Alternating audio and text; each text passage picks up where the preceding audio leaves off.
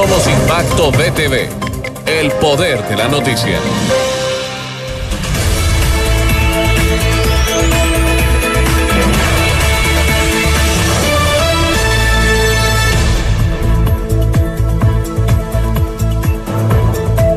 Bienvenidos a Impacto BTV Meridiano. Les saluda Felipe Valencia con todo el gusto del mundo. Y aquí hay un video que está dando la vuelta en redes sociales. Parece que los golpes fuertes no son solamente al bolsillo de los hondureños, sino que también entre transportistas y pasajeros. Veamos a continuación. Gritando, puta. ¿Quería otro? Vos también, ¿sabes meter? Hey, copa. Hey, vos. Hey, vos. Hombre, las fijas, eso. Bien, y vea usted la agresividad de este transportista en contra de este pasajero y esto fue, se suscitó en Corquín, Copán. Eh, las imágenes hablan por sí solas, los golpes fuertes y a mano cerrada del conductor de la unidad de transporte sin cuidar que había menores de edad en el lugar presenciando el hecho violento, nos habla de una sociedad que tiene los ánimos bastante elevados y la violencia parece no entender de fronteras. Y vea usted las agresiones de este transportista en contra del pasajero. Desconocemos si hubo una discusión previa a que se fueran a las manos. Las imágenes son bastante contundentes y bueno, vemos que hay bastantes personas viendo el hecho e inclusive algunos niños. El hecho ocurrió en la ruta Lara del sector de Corquín Copán, un altercado a plena luz del día. y bueno, también cabe destacar que no están utilizando ninguna medida de bioseguridad, no están utilizando mascarillas y bueno, tampoco vemos ningún tipo de reglamento interno en esta unidad de transporte donde hubo bastantes agresiones.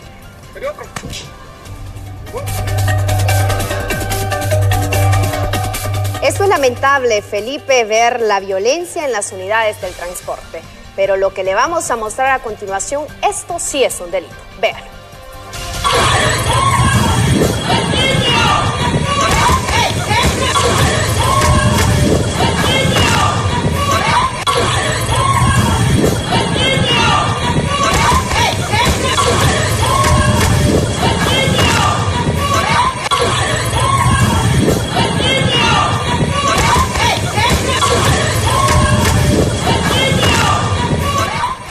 Definitivamente esto es indignante, lamenta. Cómo es posible un hombre en plena vía pública con su bebé en brazos, qué ejemplo le está dando a este menor, está golpeando a una mujer, aparentemente es su pareja.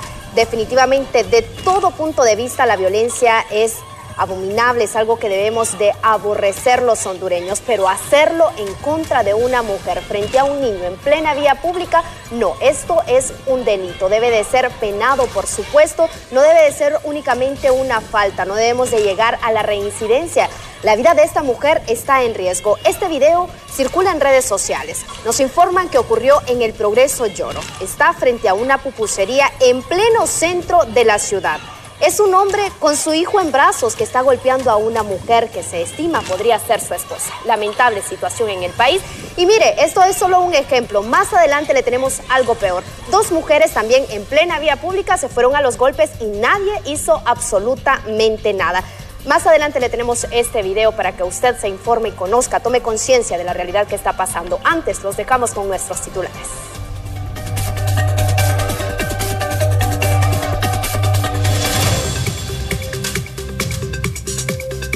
Se van a repetir las elecciones en tres municipios y ya inicia el traslado del material electoral. Además, vendedores del mercado San Isidro están de aniversario. Cumplen 120 años de la fundación. Por otro lado, el gobierno defiende que no hay una agenda oculta con la nueva ley de energía. Por otro lado, el presidente de la Corte Suprema de Justicia responde molesto tras la amenaza de juicio político. Esta y más informaciones a través de su noticiero. Impacto VTV, el poder de la noticia.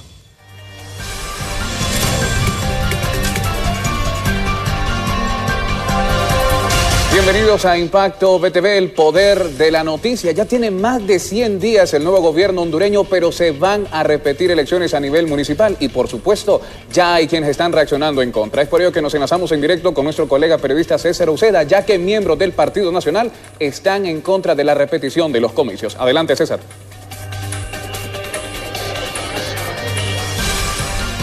Bien, muchas gracias compañeros en el estudio principal de Impacto BTV. En este momento que nos acompaña el abogado David Chávez, presidente del Partido Nacional. En este momento se está confirmando que ellos no van a participar en estas elecciones en Duyure. Muy buenas tardes. ¿Cuál es el motivo, abogado? No, es que ha habido un robo descarado de la voluntad popular donde han inhabilitado 180 electores para que hagamos una elección de dos urnas prácticamente para descartar los votos con los cuales ganamos esa alcaldía, es decir, la ganamos. De manera arbitraria nos han anulado 180 eh, ciudadanos del municipio de Duyure que votaron en el 2013, que consta en el padrón electoral que votaron en el 2013, que consta en el padrón electoral que votaron en el 2017, que consta que votaron en las primarias de marzo del 2021 y que consta que votaron también ahorita. Pero entonces como no hay manera de que ellos puedan ganar, entonces lo más fácil es inhabilitemos a estos ciudadanos para quitarle y robarle la alcaldía a la doctora Selfie Agustío y con esto pues sacamos a los nacionalistas porque hay que robarle esa alcaldía a ellos. Y eso fue lo que ha sucedido, es un golpe a la democracia, la CICI tiene que venir a investigar estos casos electorales porque definitivamente eh, ya utilizando el poder institucional, con eso no podemos competir. ¿Esto es parte de lo que está ocurriendo en el Congreso Nacional? Sí, que imagínense una directiva ilegal que eh, diputados del Libre fueron a votar en los curules nacionalistas. Esto está como que las Naciones Unidas, Venezuela utiliza el curul de Estados Unidos, no se puede. Lo mismo hicieron acá. Entonces quieren que que utilizar así como que vaya a Venezuela a votar de Estados Unidos. Eso es incompatible. Los de libre no pueden votar en los curules nuestros, pues también es incompatible y a la fuerza pues tienen una junta directiva de manera ilegal. Bien, muchas gracias. Ya ustedes han escuchado al abogado David Chávez, pero también nos acompaña en este preciso momento la licenciada Selfie Bustillo, que fue la candidata que salió en las pasadas elecciones y que ahora no va a participar ya en esta de nueva cuenta estas elecciones. Muy buenas tardes. Buenas tardes, sí, lastimosamente, ¿verdad? He tomado la decisión por la paz de mi pueblo, por la paz mía, por la paz de mi familia, de mi gente, ¿verdad? El no asistir ni avalar estas elecciones que desde el inicio, eh, lo dije, son ilegales, son violatorias, ¿verdad? Están viciadas de muchas irregularidades eh, desenfrenadas, ¿verdad? A través de, lo que es la oposición y lógicamente llegándose a que la quieren consumar, ¿verdad? El 15 eh, de mayo a raíz de una elección, ¿verdad? Que eh, va a venir a avalar lo que es este proceso donde atenta contra la democracia del país. ¿Qué nos indica esto? ¿Qué es lo que está pasando actualmente? ¿Por qué se repiten de nueva cuenta estas elecciones? Eh, la verdad que la violación de derechos que hay, ¿verdad? Es grande y es por eso que no estoy aceptando, ya que están violando mi derecho constitucional a elegir y ser electa, que ya salí electa el 28 de noviembre en unas elecciones completamente transparentes.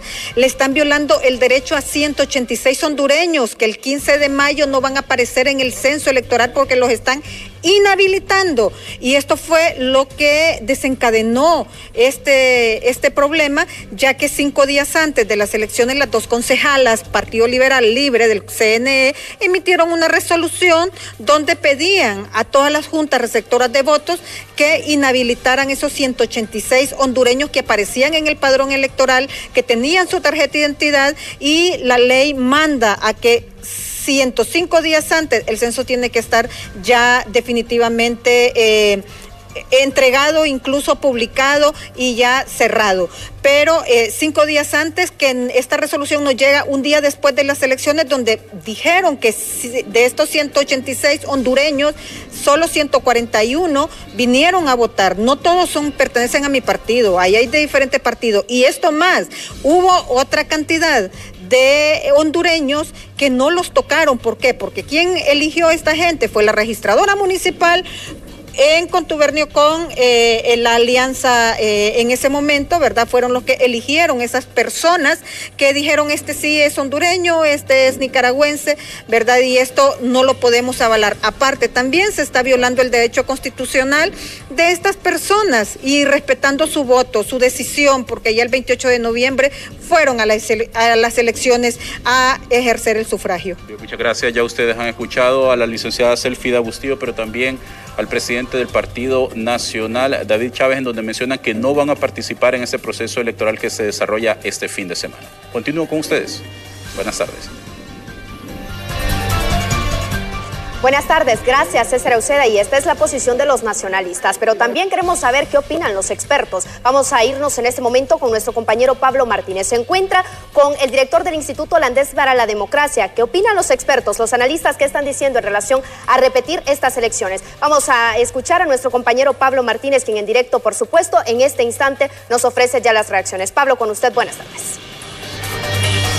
Así gracias, eh, compañeros en los estudios eh, principales. En este momento me acompaña Luis León, quien es director del Instituto Holandés para la Democracia Multipartidaria. Se repetirán estas elecciones en el sector de Duyure y no participará, tal como lo ha manifestado eh, la alcaldesa de ese lugar.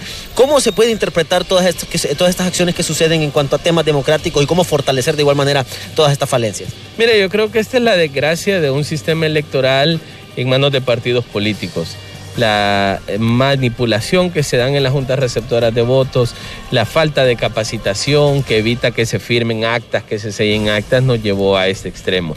Pese a que hubo un amparo por parte de la alcaldesa en la Corte Suprema de Justicia, esta no falló y la autoridad suprema en procesos electorales se llama Consejo Nacional Electoral y ha decidido que se van a repetir este fin de semana. Ella está en su derecho de no participar, ella puede seguir intentando esfuerzos judiciales alrededor de esto. Lo que yo sí creo que es importante tener claro es que mientras no fortalezcamos nuestro sistema electoral, mientras no encontremos mecanismos de transparentización y de garantía del voto, vamos a seguir teniendo estos problemas que lo que generan es desconfianza en el pueblo hondureño. ¿Será una alternativa buscar nuevas fechas para la elección de los diputados y de igual manera a nivel de corporaciones municipales separadas de la presidencia de la República para no sobrecargar el mismo día tantas acciones por parte de los miembros de la mesa? Es una alternativa electoral, pero no es una alternativa política. A ver, las campañas políticas y los procesos electorales siempre se lideran bajo la visión del candidato presidencial. Si usted separa a los diputados de la elección de, presidente, nadie va a ir a votar por diputado lo que significa que se, habría una participación muy baja. Puede haber una opción unir diputados y alcaldes el mismo día. Sin embargo, lo que se debería tener es un sistema de conteo, transmisión, divulgación y manejo de mesa electoral eficiente. Yo creo que no habría problema que funcionaran los tres si eso lo hiciéramos bien. Y para eso ocupamos reformas electorales, voluntad política y es ahí donde vienen nuestros problemas. ¿Podríamos también despolitizar las mesas electorales para evitar tantas acciones como esta? Es urgente, es urgente. Definitivamente eh, los partidos políticos son juez y parte. Ellos hacen el queso, producen el queso y se comen el queso y ahí es muy difícil que pueda haber un buen manejo. Muchísimas gracias. Declaraciones de Luis León, quien es eh, director del Instituto Holandés para la Democracia Multipartidaria, dándonos sus declaraciones en referencia al tema que le hemos consultado. Con esta información, y si no tienen consultas, retorno, compañeros.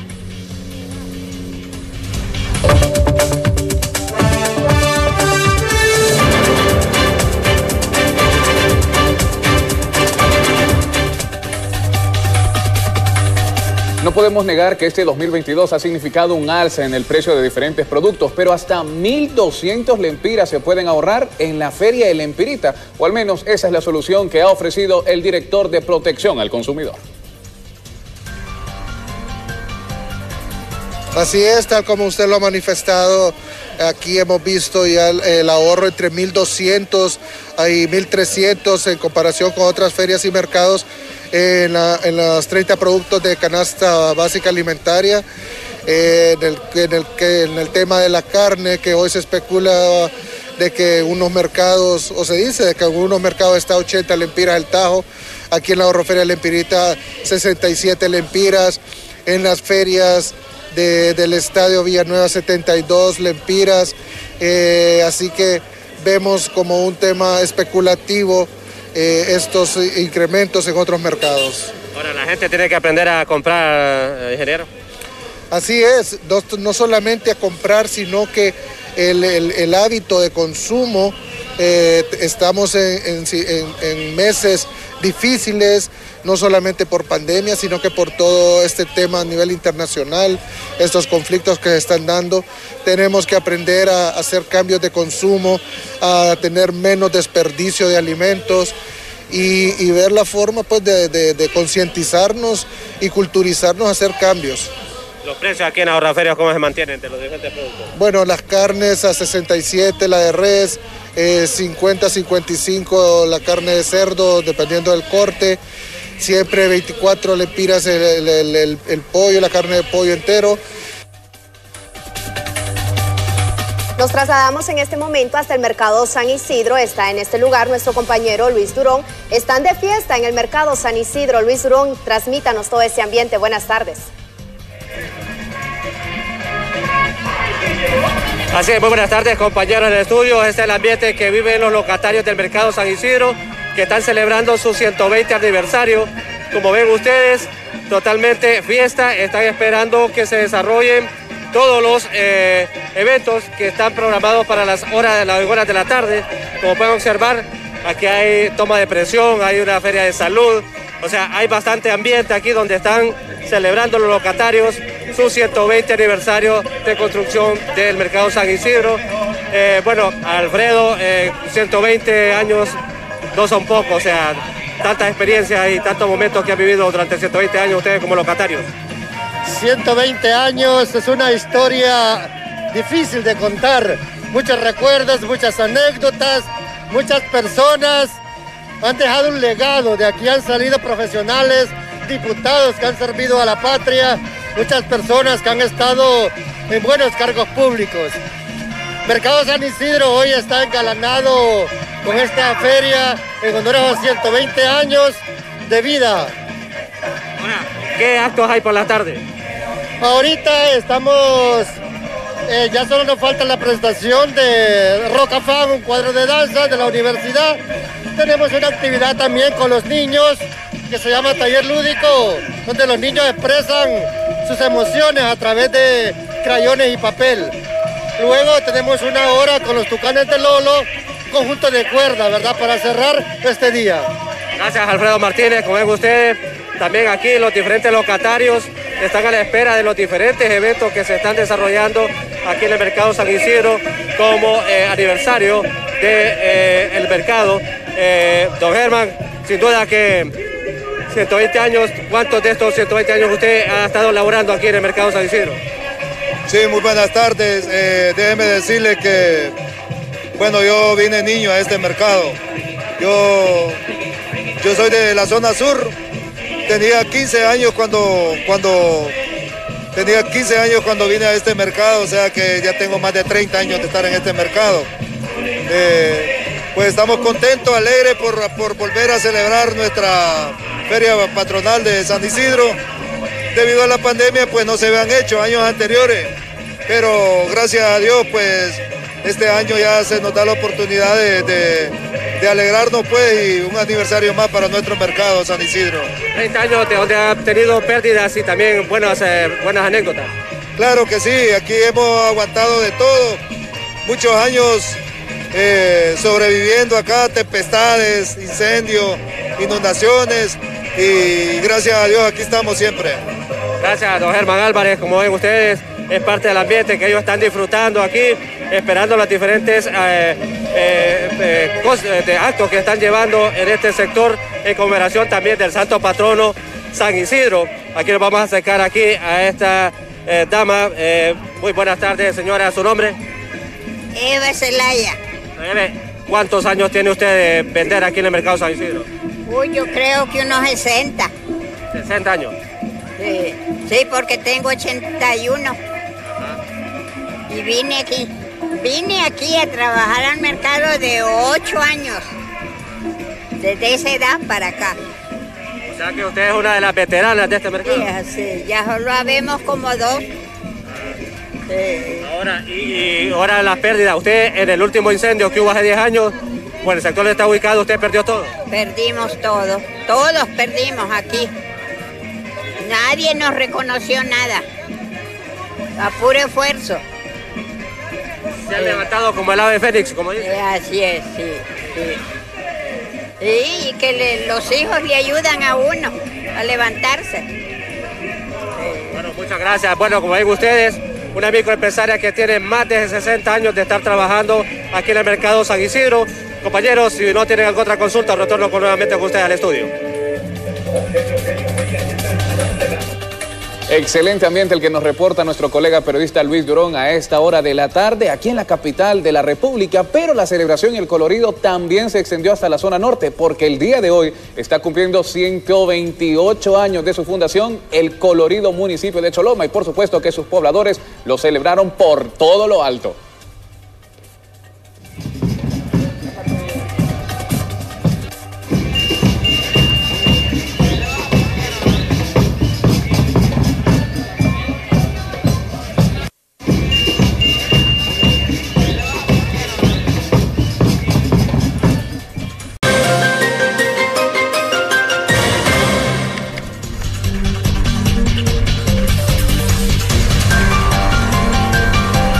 Bien, y tal como se lo prometimos al inicio de este informativo, tenemos bastantes videos fuertes y es que en esta ocasión dos féminas se fueron a los golpes en plena vía pública. Veamos el video.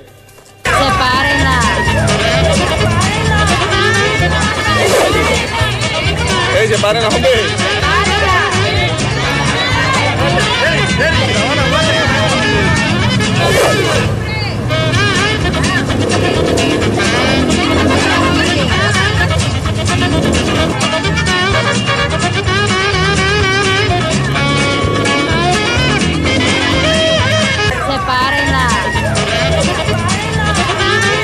Y vea usted, mientras algunos los viernes están pensando en irse de fiesta, otros piensan en irse directamente a los golpes y al piso. Pega que te pego, dame que te recibo. Y bueno, así, así lo hicieron en plena vía pública estas dos féminas, aparentemente y solamente tomando como fundamento los testimonios de los que estaban observando.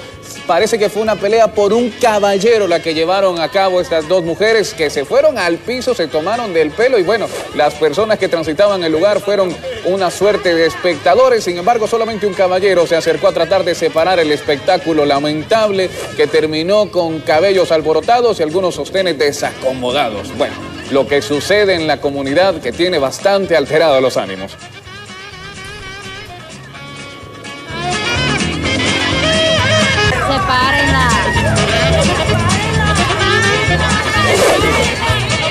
¡Ey, separen hombre!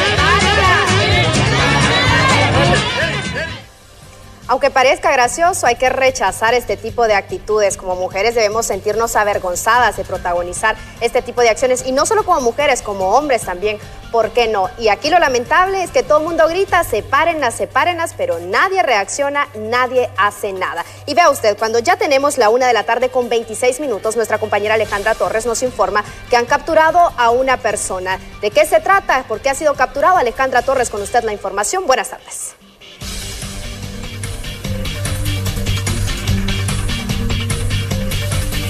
Bien, gracias compañeros en estudio. Estamos con Cristian Nolasco, subcomisionado, para hablar acerca de la captura de un individuo, por la muerte de un miembro de la comunidad LGBT.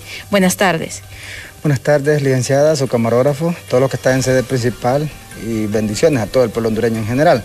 En efecto, en una operación de impacto, en primera instancia dirigida por oficiales y agentes de policía de la Fuerza de Tarea de Investigaciones de Delitos Violentos. En primera instancia, mediante vigilancia y seguimiento, se logra neutralizar a un peligroso y jefe de esta estructura criminal en este sector de la libertad Comayagua, alias El Pulpo, que es miembro activo y líder de esta estructura criminal Mara MS-13 Salvatrucha. A este joven se le ejecuta una orden de captura por suponerlo responsable del delito de asesinato y también robo con intimidación sobre esta víctima que es de nombre María Fernanda Martínez, miembro de la comunidad LGTBI que perdió la vida el 2 de febrero de este año. Esta orden de captura fue emitida por los juzgados de letras de lo penal con jurisdicción nacional, específicamente el día de ayer. En menos de 24 horas de emitirse esta orden de captura por estos juzgados, se logra ejecutar el día de hoy. Primero, mediante vigilancia y seguimiento en una vía pública. Posteriormente se realizan allanamientos en series en este sector de la Libertad Comayagua. Se logra a decomisar y aplicar la técnica de recolección de indicios a través de los técnicos de la unidad de procesamiento de la escena del delito, una arma de fuego tipo pistola calibre 380, en el cual pues estamos hablando de que se puede involucrar esta arma que tiene que ver con la muerte de esta joven María Fernanda Martínez. Importante también mencionar que se le lleva otra serie de investigaciones a este mismo sujeto, alias el pulpo, en el cual pues es originario de Choluteca, de Pespiri específicamente, y residente donde se le dio captura en la libertad Comayagua. También se presume, hasta el momento está haciendo los análisis o, la prueba de mecánica de funcionamiento del arma de fuego, posteriormente con balística forense, que puede estar más tarde involucrado en otros homicidios, en otros asesinatos. Por ahora, es la segunda persona detenida por este hecho criminal suscitado en los primeros días de febrero. El primero se detuvo a mediados de febrero, alias el negro de esta misma estructura criminal. Alias el negro participó en este homicidio. La narración de hechos que la llaman a esta persona, salen con ella, le roban sus pertenencias a pocas cuadras de su residencia y comienza, alias el pulpo, a disparar en contra de la humanidad de esta persona y pues de María Fernanda Martínez y quedando en el suelo, este, alias el negro, comenzó a rematarlo, a dejar las signos vitales en el suelo con una piedra. Posteriormente se le dio asistencia médica, pero fue en vano. Policía Nacional, ningún delito va a quedar en impunidad, es cuestión de tiempo cuando se logra esclarecer y en poco tiempo se logra esclarecer la verdad. La prueba técnica y científica fue documentada documentada por estos investigadores. Va a ser el juez en las primeras audiencias que va a tratar de quebrantar esta presunción de inocencia. Muchas gracias, su comisionado. Estas fueron las declaraciones contra estos crímenes de odio que posiblemente van a seguir las capturas. Em, este es mi reporte. Retornamos a estudios principales. Muchísimas gracias Alejandra por ese informe y bueno, nosotros esperamos que se detengan los crímenes en contra de la comunidad LGBTI. Continuando con las noticias, agentes de un centro penitenciario detuvieron a un policía que intentó ingresar un arma de fuego no permitida a uno de los módulos. El arma fue detectada por el escáner y por ello le dieron pronta detención a este policía que vaya a saber usted qué intenciones tenía ingresar esta arma prohibida a uno de los módulos de la cárcel últimas horas se recibió el reporte las autoridades del Centro Penitenciario de Morosel y El Paraíso sobre la detención de un miembro de la Policía Nacional, quien fue descubierto intentando introducir un arma de fuego al área de los módulos. Al momento en que los especialistas de la Fuerza Nacional de Control del Centro Penitenciario realizaban la inspección al pasar por la zona del escáner, se descubrió de que el agente policial llevaba un arma de fuego, por lo que se le requirió y se le recordó las instrucciones emanadas de las máximas autoridades que ningún agente puede ingresar a la zona de los módulos con armas de fuego. Es así que el policía se dirigió a su zona de dormitorio a dejar el arma de fuego. Sin embargo, las autoridades giraron la instrucción que se hiciera una inspección en las pertenencias de este miembro policial y es así en que se descubrió que eh, tenía su arma de fuego reglamentaria y también un arma de fuego que no era de uso policial. Por lo tanto, fue requerido por las autoridades policiales y fue puesto a la orden de la Dirección Policial de Investigaciones DPI. Y hemos recibido la denuncia que en el Parque La Concordia hay una gran cantidad de basura acumulada. Hemos mandado a nuestro compañero César Euseda, vamos a corroborar cómo está la situación en este sitio. César, con usted la información. Bien, muchas gracias, licenciada Ruth Muñoz, tal como usted lo menciona, pero ya con buenas noticias positivas. Y es que ya las autoridades de la alcaldía capitalina están realizando trabajos de limpieza justamente en este hermoso e histórico Parque La Concordia. En ese preciso momento nos acompaña don Oscar Danilo Ramos, supervisor de la Alcaldía Capitalina. Muy buenas tardes, don Oscar. Buenas tardes, este, aquí estamos nosotros aquí en la Concordia, desde haciendo la limpieza, ya que miramos un gran, tremendo operativo de, que estaban haciendo aquí en el Parque La Concordia. y nosotros venimos a sacarlo, a dejarlo limpio, este Parque de la Concordia, ya que es muy conocido, uno de los mejores parques de aquí del Distrito Central. Y mirar esta sociedad, pero aquí estamos los de la Alcaldía Municipal haciendo este operativo de limpieza. Pero algo importante es, don Oscar, esta gran cantidad de basura, una parte son hojas, desperdicios orgánicos, pero la otra parte es la mano del ser humano. Eh, sí, el problema es que los vecinos acá en estas zonas no como que no le tienen amor al trabajo, a, las cosas de, la alcaldía municipal, del parque, por decir así. Eh, la gente, hacemos el operativo de limpieza, pero la gente cuando miran basura ahí le tiran todo encima y ahora está adentro y la, gente no, no, no, no cooperan, no cooperan, más bien lo que hacen es ensuciar la ciudad. Pero hay algo importante también es el llamado a la población para que haga conciencia de esto. Eh, Angelito, si nos pudiese ayudar con unas imágenes de este Parque La Concordia, ustedes pueden observar, compañeros, aquí hay estelas, mal, estelas mayas que, eh, pues bueno, son figuras que se han recogido por un arquitecto y que fue fundado en el año de 1939. Estamos hablando de estelas mayas que vienen desde México, Chichen Itzá, Guatemala, tenemos aquí también Honduras. Ustedes lo pueden observar, esta estela maya, por ejemplo, impresionante, realmente es una recreación sumamente histórica. Le agradecemos mucho, don Oscar, pero vean la belleza de este parque. Antes, hace algunos años atrás, incluso tenían tortugas, patos, gansos, y la persona venían a disfrutar pues, de este ambiente tan impresionante porque a pesar de la temperatura vemos aquí la gran cantidad de árboles que dan ese frescor y desafortunadamente la población no cuida. En varias ocasiones se ha hecho unas remodelaciones, pero ustedes no pueden observar este, este hermoso parque, incluso la, la infraestructura de esta, bueno, esta plaza, si podemos mostrar estas imágenes, Angelito, miren ustedes, por ejemplo, en este preciso momento, la calidad, el arte con el que se realizó este tipo de figuras, eh, una recreación completa de todo lo que es eh, la obra realizada por los mayas, estamos hablando de allá por el 1300, 1200, imagínense ustedes, una situación bastante delicada, pero gracias a Dios ya tenemos buenas eh, y positivas noticias por parte de la alcaldía. Ya ustedes están viendo que se está recogiendo esta basura. Esta gran cantidad de basura, en su mayoría es orgánica, pero desafortunadamente también está siendo generada por la población. Ya ustedes han escuchado a don Oscar. La población viene y lanza sus desperdicios aquí y esto es lo que contamina todo este ambiente. Continúo con ustedes. Buenas tardes.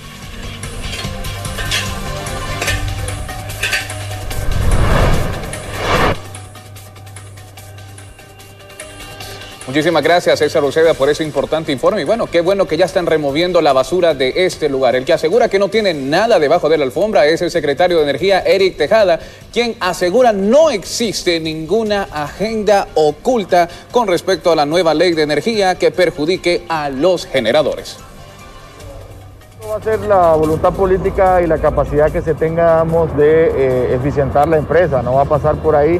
Creo que hay una convergencia en torno a voluntad política y de la sociedad civil para que eh, la ANE eh, logre rescatarse, logre despegar como un bien público y patrimonio nacional. El sector privado está refutando el artículo 4 y 5 porque habla del justiprecio. ¿Hay alguna posibilidad de cambiar eso? Comisión de estilo, no sé. Ya eh, la reforma ya fue aprobada por el Congreso, no hubo algunos cambios de redacción, eh, eso se discutió ampliamente en el Congreso también, eh, no debe haber ningún temor en ese sentido, simplemente son artículos que hablan de la renunciación sin plantear nada oculto. ¿no? Los generadores también señalaron que en estas reformas no se tomaron en cuenta las opiniones que ellos hicieron durante la socialización, ministro.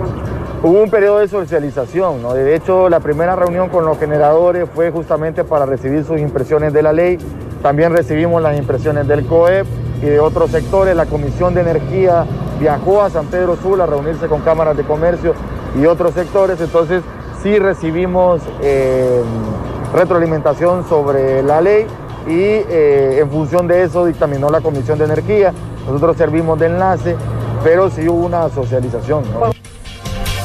No toda la población ha reaccionado a favor de la ley que viene a reactivar las microempresas. ¿Qué opina el sector norte del país, sobre todo los microempresarios? Mariela Manzanares en directo nos ofrece en este momento las reacciones al respecto. Mariela, con usted, buenas tardes, un gusto saludarla.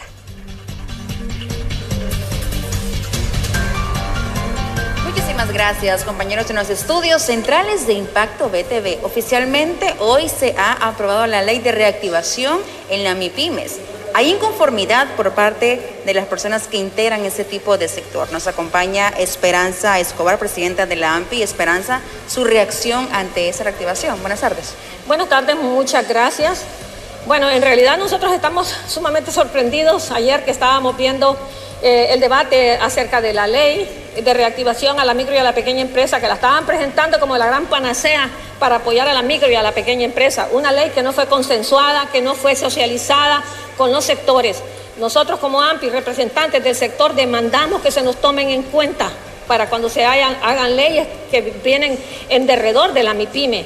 Tenemos que estar ahí para poder enriquecerlas, señores, para poder llevarles los grupos de empresarios alrededor del país y enriquecer cualquier iniciativa de política pública. ¿Quiénes van a hacer las leyes? Solo el gobierno. No vamos a tener consideración hacia la sociedad civil. Estamos mal entonces. Esa ley no fue socializada con nosotros, no estamos de acuerdo con lo que se puso ahí. Hay un retroceso. Nosotros ya teníamos una ley 145 del gobierno anterior que supera esta ley. La supera. Esta ley del 145 nos daba cinco años de beneficios y teníamos un, un rango hasta de 5 millones. ¿Por qué? Porque los más pequeñitos, los más chiquitos, que emprendemos negocios sin capital, sin financiamientos, nosotros somos los que necesitamos el apoyo. No las que venden 12 millones. ¿Para quién va dedicada esta, esta nueva ley? Señor Barquero, le pregunto. Lo fuimos a buscar varias veces. Fueron comisiones de AMPI. Lo vimos en las gradas de, la, de, la, Casa Presidencial. Le mandamos cartas, le mandamos correos y no nos, no nos llamó para sentarnos con usted. Hubiera tenido una ley bien rica, de acuerdo a las necesidades que nosotros tenemos. ¿Y si antes eran cinco años, ahora en cuánto quedó, estimada? Queda en que son tres años de 100% de beneficio de, de, de, exoneración y los otros dos años son 50% y aumentan el rango hasta 12 millones y no incluyen otras demandas que pudimos haber enriquecido la ley, como eso del seguro social. Uno de los legisladores ayer habló de que podíamos haber puesto, ¿por qué no les ayudamos para que los empresarios no paguen, solo recojan la aportación de los trabajadores? Dijo uno, nadie le hizo caso al señor, yo cruzaba dedos porque yo esperé que alguien más secundara esa propuesta, que estaba excelente. Bien, ya escuchábamos en este momento a la presidenta de la AMPI, Esperanza Escobar, quien nos brinda sus reacciones e inconformidad ante la aprobación de esta ley. Seguiremos, por supuesto, al pendiente de estas y más informaciones. Mientras tanto, por los centrales de Impacto BTV.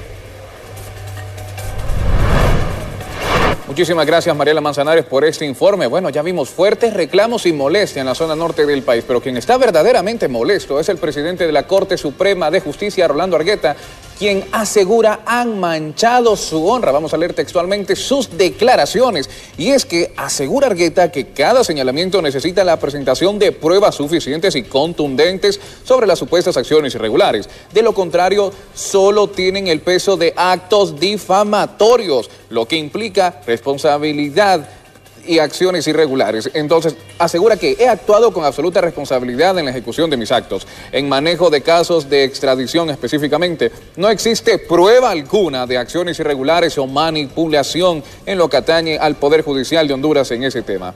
Cero mora, 100% de expedientes evacuados. Hablar y ensuciar la honra es fácil. Presentar las pruebas de acciones irregulares con responsabilidad y claridad no lo eso es lo que será difícil, sino imposible, porque tenemos total convicción y fundamentación de nuestros actos en la conducción del Poder Judicial, lo que ha declarado de forma oficial el presidente de la Corte Suprema de Justicia con respecto a las amenazas de un juicio político. Gracias Felipe. Y los funcionarios que participaron en cargos de elección popular les están insistiendo, tienen que presentar su informe. Política Limpia ha dicho, si no lo hacen en los próximos días, los vamos a sancionar. Vamos a ser contundentes. La clase política es la primera que debe dar el ejemplo. Y si en el proceso de participación a cargo de elección popular conlleva y establece de que debe de existir una rendición de cuentas en relación a los fondos invertidos en campañas políticas de cada uno de estos candidatos, están en la obligación de hacerlo, señores.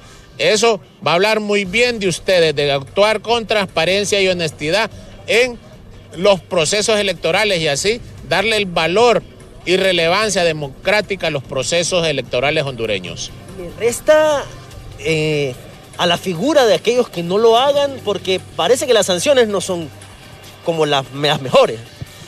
Le resta desde su carrera política, vemos de como le hemos señalado, de que los políticos son los llamados a actuar con transparencia, honestidad, decoro, a favor del pueblo hondureño y de los institutos políticos que representan. Entonces están en la obligación. Lo que pasa es que ahora, como ya no salieron electos, están con el desánimo, el desinterés.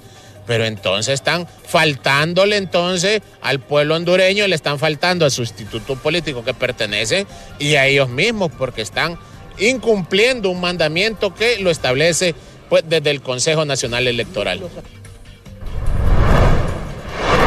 La administración de la alcaldía San Pedrana está recibiendo todos los viernes a una enorme cantidad de pobladores para que presenten sus quejas, reclamos, sin importar el rubro en el que se desempeñen. Esto con la finalidad, por supuesto, de buscar una pronta solución a cada uno de sus problemas. Así que podríamos decir que ha sido un rosario de quejas el que le ha llovido este día al alcalde Roberto Contreras. La Municipalidad del Pueblo es el contacto cercano que mantenemos nosotros con nuestros ciudadanos, en el cual el primer viernes de cada mes, este es el segundo viernes, no lo pudimos hacer el primer viernes porque hubieron algunos problemas de protestas, pero lo estamos haciendo ahora el segundo viernes. ¿Qué hacemos? Sacamos nuestros 13 gerentes municipales al parque, junto con el alcalde y el vicealcalde, a escuchar las inquietudes, las quejas y las necesidades de los distintos sectores de nuestra ciudad. ¿Por qué razón? Porque el único que sabe cuáles son las necesidades de su barrio o su colonia es el vecino que ahí vive. Así es que esta es la... Mientras tanto, aquí en Tegucigalpa, aparentemente los mercados se están quedando sin carne de res. Vamos a confirmar esta información con nuestro compañero Pablo Martínez. Se ha movilizado a uno de estos puntos de venta para darnos a conocer si en efecto hay o no hay carne. Pablo, con usted la información. Así muchas gracias, eh, compañeros en los estudios eh, principales. En este momento nos hemos trasladado precisamente hacia la Feria del Agricultor y Artesano que queda a cercanías de- del Estadio Nacional. Para ello me acompaña Juan de Dios García, aquí de la carnicería, la preferida número uno, precisamente para conver- conversar acerca de él sobre este tema de las carnes. ¿Cómo está esta situación? Porque se nos había manifestado de que pues está un poco escasa. ¿Qué nos puede decir sobre esto, Juan? Bueno, pues nosotros aquí pues, hemos estado sufriendo porque nosotros la semana pasada no trabajamos. Tuvimos que cubrir gastos de la bolsa. Porque aquí hay que pagar la boleta y todo, pagar los Pero todo ¿a qué se debe todo esto? ¿Ah? ¿Qué se debe todo esto? No, de esos paros que hacen, de esos paros que hacen, seguro para, me, me imagino yo que es para aumentar ya los productos, va, porque ganado hay. O, o- o no, o no sé si es que hay exportaciones y es así al, al escondidito estará la exportación, digo, de ganado. Porque siempre vamos para esta fecha hemos tenido llena de ganado nosotros. Porque yo miro, yo miro cuando salgo ahí todo eso, cuando salgo allá a Zamorano, hay troje y todo eso, y se gana un montón de ganado y todo, pero yo no sé por qué lo hacen eso de, de- de- Ayer me imagino yo sería por el paro que estaban haciendo. Ahora bien, pero vemos que tiene esta, esta carne que tiene la logró conseguir de alguna otra manera entonces, ¿verdad? Porque estaban parados los contenedores. Correcto que sí, esta, esta, esta media red me la trajo un compañero de allá de, de Zonal Belén. Para que pueda lograr comercial. él pide- sí, él, a él le trajeron y entonces él, para ayudarme, porque para cubrir, porque hay que pagar gastos, y entonces yo le dije que me considero una media red. Toda esta carencia de, de res o carne que, que existe en este momento eh, podría hacer que varíen los precios, digamos, en algunos de los productos de las carnes. Pues sí, primeramente hay que te defendió, va, que, que, que aparezca una llena de productos para que baje, no que suba, va, porque usted sabe que si, si, si va desapareciendo va subiendo el producto, porque ahorita si va a todos los mercados no hay. Hasta el momento, ¿cómo mantienen los precios? ¿Cómo están los precios? No, aquí tenemos 72 lempiras la libra. Sí, aquí tenemos 72 a 60 la costilla con la carne 60 la, eh, 70 la molida, todos los precios están así, mira, bistec y todo tenemos, 70 lempiras la libra. Entonces, si me confirma, está escasa ahorita la carne. Está escasa. Primeramente Dios que aparezca, porque hay que tener fe en el Señor, va. Por- sí, porque nosotros no podemos opinar nada, sino que Él, él va a tocar los corazones de esas personas que no, han- no andan, no andan estorbando ahí. Muchísimas gracias, don Juan. Qué lamentable. Miren, observen, compañeros, estamos aquí en el sector de las carnes, en el- la Feria del Agricultor y Artesano, y pues ellos ya lamentan que, que realmente este, este, este producto está escaseando debido a todos esos paros que pues eh, se han presentado en las últimas fechas. Vamos a, si mi compañero eh, Walter nos acompaña aquí también para ver si podría, pudiésemos conversar con alguna de las personas también, porque vemos que también está vacío, no hay mucha gente aquí, no hay muchas, muchas personas aquí en este lugar. eh, ¿Verdad? Y, lamentable también eso del tema de las carnes. Pues, caballero, ¿cómo está? Está escasa la carne, se nos ha comentado por todos estos paros, paralizaciones que han realizado en el sector transporte. Eh, no necesariamente, la carne está escasa ya tenemos sobre un mes. Lo que pasa es que es eh, un fenómeno que siempre pasa cuando está el verano. El ganadero retiene un poco, uno de los elementos es retener para que el, el animal tenga un mejor peso, ¿no? Ya con las lluvias, y no es las primeras lluvias. Entonces, eh, eh, ahorita los fenómenos de la escasez tienen que ver otras cosas más. ¿Y el precio, podría variar el precio de la carne debido a esta escasez? No, los precios ya variaron. Eh, le diré, en la Feria del Artesano hace dos, no, hace 45 días de 68 subió a 70 lempiras. Y la semana pasada subió a 72. Ya en los mercados capitalinos eh, es bien sabido que anda arriba de 75, 78 lempiras la libre podría carne. variar en la próxima fecha. Es seguro que sí, porque el producto que está entrando es de muy baja calidad una y se encuentra muy poco. El de buena calidad está saliendo para El Salvador, para Guatemala. Eh, súmele los incrementos de energía, petróleo, insumos. Hay un montón de elementos que han orillado a, a inevitable el aumento, ¿verdad? Como en otros productos de la canasta básica, pero las carnes sí se está sintiendo el efecto bien fuerte. La semana pasada fue una crisis de carne que, que rara vez se había visto, y se lo digo, ya días estoy yo en este negocio y no se había visto de una manera y que se escaseara tanto, ¿verdad? Sí, bueno, muchísimas gracias. ¿Su nombre, discúlpeme? Eh, Tony Mena. Tony Mena de la carnicería Tony, aquí también en este sector. Bueno, este ha sido mi reporte, compañero. Ya lo escucharon. Tenemos dos opiniones de personas que se dedican al comercio de carnes y ya han escuchado. Ha venido de mala calidad y viene dándose esta especulación y esta baja cantidad de carne, tanto en esto como en algunos otros mercados desde ya tiempo. Con esta información y si ustedes desde los estudios no tienen consultas, yo retorno.